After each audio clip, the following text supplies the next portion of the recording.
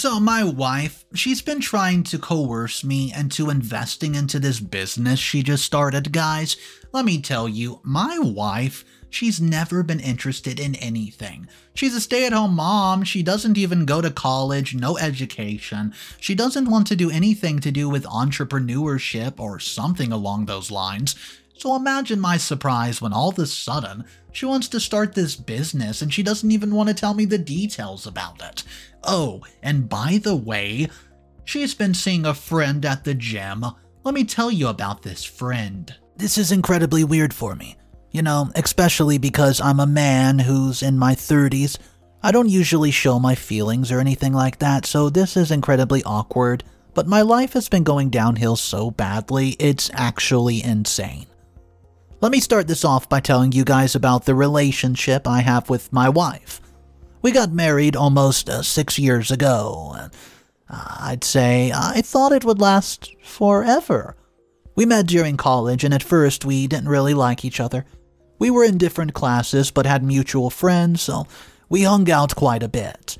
The thing is, we had to hang out with each other because we were part of this big group that always hung out, and so we basically saw each other almost every day. The reason we started talking was that she needed help with something from my course. And even though she was hesitant to ask me for help because we bickered a lot, she came forward anyways, and that's when we started hanging out separately. She would come over to my dorm, and I would go to hers. Slowly, we realized that we actually really liked hanging out with each other. But it's not like we did not bicker when we did become friends. In fact, I think we started bickering even more. But that was the fun part. That was what made me fall in love with her. It was hard to accept I was in love with her because Emily was gorgeous. She had blonde hair, hazel eyes, and she was perfection in my eyes. And I never thought that she would be able to love me back at all, so I never even gathered the courage to confess or ask her out. It was after we became super close and this other guy started hitting on her that I realized that I needed to do something about this or else I was going to lose her. The good thing for me, though, was that she liked me back, and then we started dating. So we got married as soon as we got out of college. It's been six years since then, and we've been living very happy lives. I have a nice, stable income, so we're doing good financially as well, and I try and give Emily everything she's ever wanted in life. Any memberships, any trips, any gifts that she actually wanted, I tried to get it for her.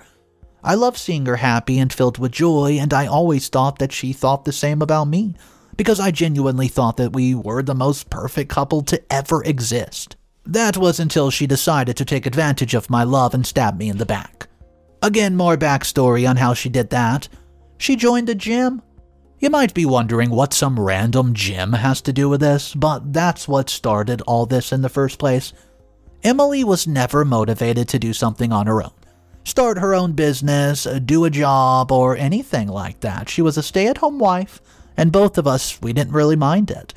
Of course, I would have supported her in whatever she decided to do.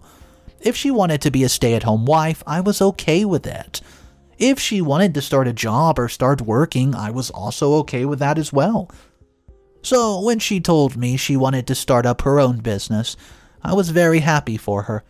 It started around a month after she started to go to the gym. She found this girl whom she became friends with, and almost as soon as she joined the gym, they became friends. They'd constantly go out on these coffee runs after the gym or run errands together, and honestly, I was pretty happy for her. Emily has always been an incredible social person, but we moved recently, and since she doesn't know anybody here, she hasn't been able to go out and have as much fun as she likes to. So now that she found somebody to do this with, I was very happy for her. I even encouraged her to hang out with her more and more, and she seemed like a nice person as well. Oh boy, was I wrong about that. Around a few months ago, Emily came up to me and told me that her, well, she and her friend were planning on starting a business. I was shocked because she never mentioned anything like that to me, but I was supportive because I wanted her to do whatever made her happy. When I asked her for the details, she said that she was still not sure because they were discussing everything right now. I was a bit perplexed because how do you know you're starting a business but don't know which business you're starting? Do you know what I mean? I mean, either way, I told her she could do whatever she wanted because I had her back, but she took it the wrong way, I guess. Because then she got worse as the time went by. She would not tell me any details about the person or anything related to the business. She would say that they were still discussing and she didn't want me to know anything before it was finalized. So I told her I could probably help them out, but she did not like that as well. She started a fight with me on it because she thought that I was undermining her and not letting her and her potential shine like they were supposed to. Then she told me I was just trying to make myself the big and smart person because I wanted to have her stay at home as she did now forever. That could not be farthest from the truth, but I didn't want her to think that anymore, so I completely stopped asking questions. The only time I would actually talk about her quote business was when she would bring it up, then too, she would not tell me anything or even give me even the minuscule details. She just tells me that they're still in the talking phase about it, and you know what? She is very, very excited. If I had questions, she would get a bit cranky, so I would usually just nod my head or even stay completely quiet. Then one day she came to me and started asking me if I would like to invest in her business.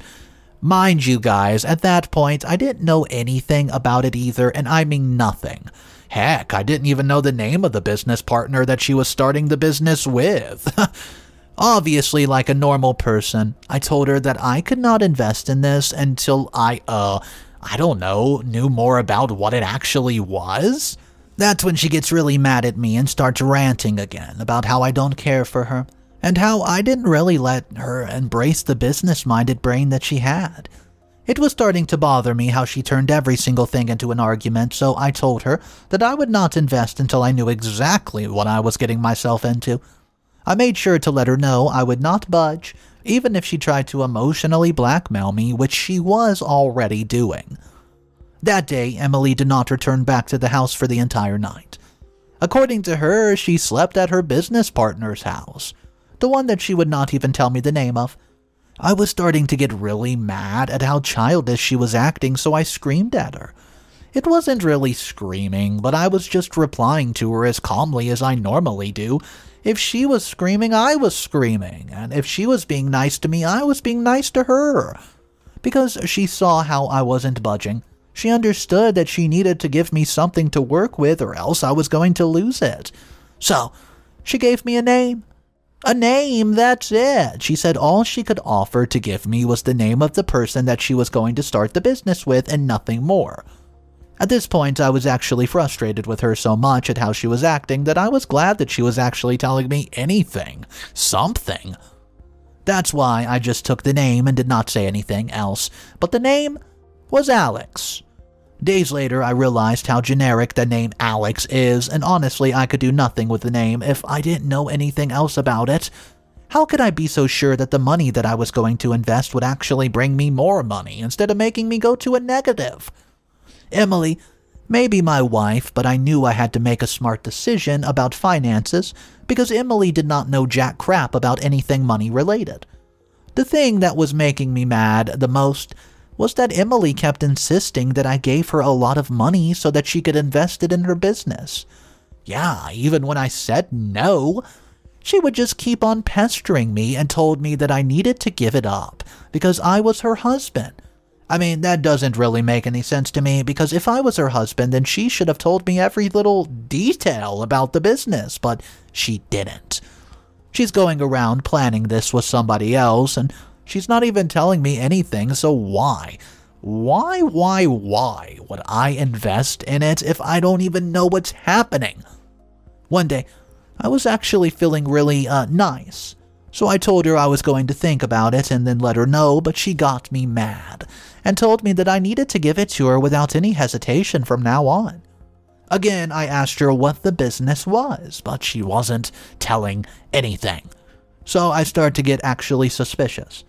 The reason I'm getting suspicious was because she would be talking on the phone all day, every day, but as soon as I entered the room, she hangs up the phone.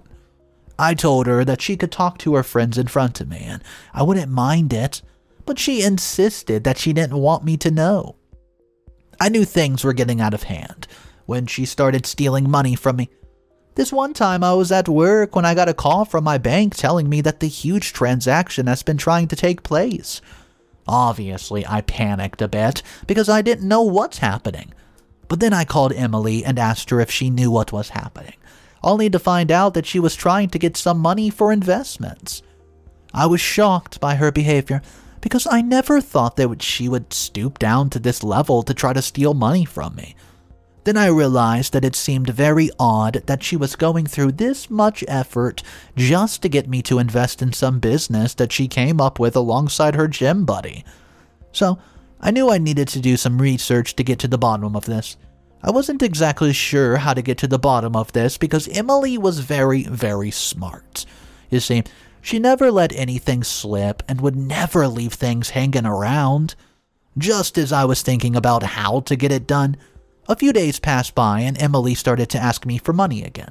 The audacity she had to be asking me for money when she literally tried to steal it from me in the first place is insane. And I knew I could not let her get away with this anymore. I could have fought her on this, but I knew I was going to do something about it either way, so I told her. I would genuinely think about it and let her know in a week. That changed into days because Emily kept insisting that a week was too long of a wait and I needed to come to a decision as soon as possible. In those days, I thought of following her to the gym to see who she actually hung out with, but that seemed too creepy and stalkerish in my opinion, so I got into her phone instead. It was a really hard task because it was password protective, of course, and she never left her phone alone either. But somehow I managed to work my way through it. Basically, what I did was try to see if I could catch her writing in her passcodes on her phone. Once that was done, I waited until she slept to try to get into her messages to see what was actually going down. What I found out made my world come crashing down right there and then. Not only did I find out that they weren't just business partners, I found out that there was no business in the first place. Let me explain. So, I opened up her phone and went to the chat to find somebody named Alex, and when I did, I found out that Alex was not a girl, Alex was a guy. My wife was having an affair with another guy right in front of my face and disguised it as a business. The messages were filled with hearts and cute lovey-dovey messages to one another, and Emily kept complaining about how she just wanted to live with them instead of me because I clearly wasn't keeping her happy. All because I would not give her the investment money which, by the way, weren't even needed for the investments because there was no business that Alex and Emily were starting. They wanted to take all the money from the investors that they've gotten and just run away, a rug pull, move to another country, and start a new life with each other. I was horrified as I kept reading the messages. I didn't know what to do or what to think, and at first I thought of waking Emily up just to give her a piece of my mind, but that was far too risky. I didn't want her to leave without me taking any sort of lesson to her for doing this to me, and I knew that they'd already gotten quite a few investors including in this as well, so they could still run away if they knew that I was on to them. I needed to play this strategically. Even though I wanted to go and beat up Alex to a pulp, I could not do that just yet. It's been almost a week since this happened, and the days have been torturous. Every time I saw her face, I wanted to punch her square in the nose. However, I'm still thinking of a perfect way to ruin her life and make her realize that she can't just play with me and my emotions like that because we will fight back. Update number one. I found a perfect way to get my revenge on Emily as it's been so satisfying to put that into action and yes, it's crazy. So basically, I knew I had to expose her and show other people that she took money from, well, that is what she was planning at least. Once everyone knew what was happening, no one would give them any money and they would be doomed. One night, I spent hours collecting every single chat log from her phone. I mean, screenshotting it and then sending it back to my phone. Meticulous process. I had to be quick because Emily was a very light sleeper and she could wake up at any minute if I made too much noise then the entire plan would be ruined, because she would know that I'm onto her. After I sent myself all of the chat messages, I went to get the names of the investors as well. But Emily was starting to wake up, and I did not want to take any risk, so I let it be for that night. I also started recording all her calls with Alex. Even though she would not want to be in the room, I'd slide the phone or keep the phone on the dresser before leaving the room. That was how I was keeping track of every single conversation that they were having with each other. Later, almost a few days, I managed to collect the names of the investors and also the amount of money that they've been paid, as I knew everything about that in case I needed to convince them that I wasn't saying anything false. Besides, I also had screenshots of proof if I ever needed to get some extra information to prove I was not lying. So, I started this on the day Emily was out for hours on end. She first went to the gym, and then she planned on spending the day with her quote business partner. So, she was indeed gone for hours on end. I took advantage of that and called every single investor that they had taken money from and let them know exactly what was going on. They had so many people that they had taken money from that it took me almost three hours to actually get done calling everybody. A lot of the people actually uh, spent way too much time on the phone with me because they could not believe that they were just getting scammed like that. Mostly those were the people who gave a lot of money, so they were pretty devastated that this was happening. I also had to send them screenshots of the chats between Alex and Emily to further show that I was serious about the entire thing and not just joking around. So, once everybody knew what exactly was happening, they all started to pull the investments back. Some who had already given Emily the money demanded that she returns it right this instant. It felt like a chain reaction, honestly. I mean, when Emily came back home, she starts getting all these phone calls from people demanding the money, or refusing to give her any more. It lasted for quite a few days, and every day I would come home from work and see her sitting on the couch, tense and stressed out. Then she'd tell me all about it, and I had to pretend to be devastated, for her sake. This one time, she was super angry when I got home, and I realized that it's because of this entire mess as well. She starts being really mean to me about the entire situation, and I just realized I wasn't going to let her treat me this way. She did this more times than I could count before all of this happened, and whenever there was something wrong in her life, she would get angry and then take it all out on me. It happened so much that I even stopped being offended. I mean, if she said anything rude to me during those times. However, I wasn't going to handle it this time because this time, when she starts telling me it was my fault and that the business would have bloomed already if I had just paid my part of the investment, I snapped. I told her that I knew this was not an investment and that she was planning to run away with Alex. Guys, the absolute shock on her face was so satisfying, but it got so much better once I told her I was the one who told everybody that she was a scam. I told her everything that I've done, from calling everybody up and telling them what they did to taking screenshots of her chat messages with Alex and sending them to the investors as well. She gets so angry, it was actually a bit scary. We said some things to one another, and I'd rather not repeat it here, and she left. She grabbed a bag and left, telling me that she was going to stay with Alex because he was a much better partner than I was. It's been uh, about three days since she's been gone, and we've got no contact from her at all. I don't know where she is or what she's doing, but I honestly just don't care. Update number two. Hey guys, so I am back with another update, and well, I thought I was done with Emily for life, but she's left her entire life's worth of a mess for me to deal with. But guys, let me go into a bit more detail. It's been five days since Emily's left to go to Alex's house. I thought she would be dealing with all the mess that she made herself, but she's just left it all behind. All the investors constantly keep calling me, telling me I need to pay them back the amount that Emily had, but even when I tell them that I have no control over anything that she does, they don't want to listen. They don't want to hear it. To what I had to say and just kept repeating that I need to pay up, or they're going to get the police involved.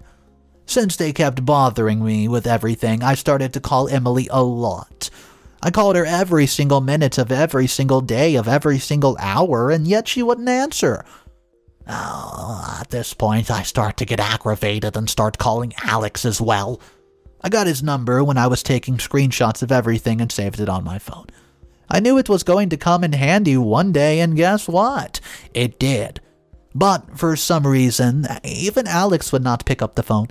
I was getting really anxious because investors kept calling me and pestering me about giving them money, money that I did not have.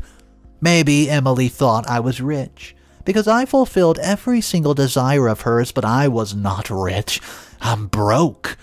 I used to spend all my savings into keeping her happy, so you can expect me to go bat crazy throughout all this. Things got intense when this one investor called me and told me that he would drag me to the police station himself if I did not pay him off. I kept telling him that this isn't me who borrowed the money because Emily didn't even let me know the name of the business partner or the name of the business, but you know what? They wouldn't listen. I mean, I kind of get what they're going through, because it was a lot of money that Emily took from them, but I was disappointed about why I was being dragged into all this. I just kept calling Emily and hoping that she would pick up until one day I got a message from her. It was one single message that was shorter than four lines. But you know what? It did just the job at conveying what she wanted to say. She told me that she was running away with Alex and she didn't want me to contact her anymore because she's gone. I figured she was running away with the money that she collected from the investors. I knew I had to stop her or do something drastic about it before this all came down crashing on me. That's why I took her to the police. I went to the station and showed them all the chats and recordings that I've taken from Emily's phone, along with investors and their chats. I told them every single thing about what Emily did and how she scammed all of them and took a lot of money. At that point, Emily had started to get ready to run, and I knew that if we spent too much time trying to find her, she could just leave the city. The only thing that was keeping me in check was the fact that she did not get a lot of money from the investors because most of them pulled out before they handed in. So, she didn't have that kind of money she needed to escape the country and sustain a life. I went to the place yesterday and they told me that they would find Emily and sort all of this out soon enough. So I'm just waiting and hoping that everything gets back to normal and I get rid of her and her clever antics that seem to have ruined my life. Update number 3 The police found Emily and Alex. I'm glad they did because I was tired of everybody calling me and insisting I do something about this because honestly, I'm done. I mean, I couldn't handle the constant pressure of having to answer everyone. I told the investors I had gone to the police for this and that they would be handling it, but there was no guarantee of the money because we didn't know when Emily and Alex would be caught.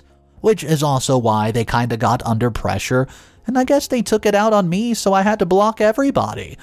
But then the police found Emily and Alex almost two days after I went to the station to file the complaint. I thought that was going to be the end of the story right then and there, and that Emily and Alex would just go to the jail so I'd be free of them, but as it turns out, they had the right to get a lawyer to fight me on this. I'm not exactly sure of what grounds they possibly could have, but thinking it has something to do with my name being on Emily's documents or something like that, I'm not exactly sure. But I'm so sick and tired of everything that's been going on that I just want this to end. This is why I'm going to make sure that I hire the best lawyer in the whole country if I have to to help me deal with this case. I want it to be dealt with once and for all. The thing that's making me so mad is that Emily is so sure that she's going to win the case too. That she's actually been taunting me and sending me all these messages all day long where she's just sending me laugh emojis, telling me she's going to ruin me. I can't believe this is somebody I used to love. Somebody I used to do everything for. I never thought I'd see the day when Emily actually turns out to be evil and tries to ruin my life. She was such an angel every single time, and that's why I fell for her. I fell in love with her. So to see her acting like this is very hard on me as well. Not just that, her boyfriend Alex is also taunting me and telling me I could not even keep a woman happy. It's making me want to go even harder on this, so I'm spending all my waking days gathering evidence and making sure to communicate well with my lawyer so that we can land both of these idiots in jail without any hassle at all. Final updates. We won! It was very obvious that we were going to win the case because they had no grounds or basis to sue me. I made sure to get a lot of evidence because Emily and Alex seemed so sure that they were going to win, though. It was actually making me a bit scared. So my lawyer and I decide to gather a lot of evidence. We're just making sure the case is so strong they would not even have the opportunity to be able to fight back. Honestly, we didn't even need to gather that much evidence. You know why? They lost the case badly on their own. I mean, it was kind of useless for them to come over to the court because anybody could tell we were going to win. Either way, they were both sent to jail and they've got a few years that they need to settle before they can come out. Seeing the expression on their face as they realize that I managed to ruin their life and you know what, it's not vice versa, was incredibly satisfying. They were so, so angry at everything that happened that they had the gaze in them that made me feel like they'd do anything to get back at me. Of course, they couldn't really do much because both of them were going to jail for now, and they would rot there for months before being able to see the light of day. Not only that, but they also had to pay back everybody whose money they've stolen, and because they used a good chunk of it, Alex had to pay it off from his own savings. So, they're definitely in a loss. A few days go by, and I'm really happy with how life is going now. It's peaceful, it's calm, so here I was, minding my own business, and guess what arrives in my mailbox? That's right, a letter from my ex, Emily. One might think, whoa, what does she want now? I expect the usual post divorce crap. But boys, this letter was on another level. She was spilling her heart out on paper, talking about how she found guilt in prison, learned some life lessons, and basically wanted me to forgive her, bail her out of jail so that she could come live with me again. A meeting was scheduled, the first since the courtroom drama began, and you know what? I saw Emily for the first time, sitting across from me wearing a prison uniform. She had a deep sense of regret in those eyes, which had once been full of dreams and aspirations that both of us shared but I wasn't going to give up this easy. She ruined my life. There's no guarantee that she wasn't going to do it again. I told her I was not going to entertain any more of her dramas and to stop spending time and money sending me letters and using the prison phone to call me, just to beg me to take her back. It's pathetic, because I wasn't going to. Finally, putting all of this behind me felt so good and so relieving that I didn't want her in my life anymore. So, this is my final update. Thank you for the support throughout this entire post. So, when I was reading this story, I was just wondering over and over why is OP even entertaining his wife at this point? He needs to separate himself as far as he can from her, and the fact that after she got caught, after she was sent to prison, she's still writing him notes about how she's changed, how she's forgiven him. And you know what? Almost everybody in the comment section, they were like, we see right through this. She's not changing. She's just trying to use you to get out of the predicament that she's in, post the bail, give her a place to stay after she gets out of jail. Yeah, we've seen this before. Anyways, guys, I do want to hear your thoughts on it. If you found yourself in OP's position and you had to deal with this woman. What would you do about it, guys? Let's talk about it down below in our comment section. My name's Mr. Reddito. I narrate stories like this every day, and I'd say the best way to see more stories is subscribing to all three of my channels. That way you will never run out of juicy stories. The channels are as followed, Mr. Reddito Animated, Mr. Reddito Stories, which is the channel you're on now, and Mr. Reddito's Revenge. You can find all those down below in the pinned comment or just use the search bar above and type in those names. Have a great day, guys. I'll see you tomorrow. And of course, remember, it's cool to be kind. Peace.